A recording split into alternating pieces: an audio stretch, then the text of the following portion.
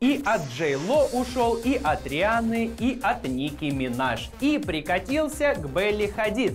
Догадались, кто это? Девочки, правильно, Дрейк все-таки Белла и Дрейк вместе. По слухам, именно он организовал день рождения модели и заплатил за крутую вечеринку. А она, в свою очередь, планирует снять клуб, чтобы порадовать парня в ответ. Какая бесстрашная! Может, она не слышала, как бессовестно Дрейк изменял предыдущим своим подружкам. Учитывая, как крепчает дружба между Селеной Гомес и ее бывшим Джастином Бибером, пока The Weeknd в туре, а у Беллы ходит новый парень, Абель может совсем остаться не у дел, разъезжая по гастролям.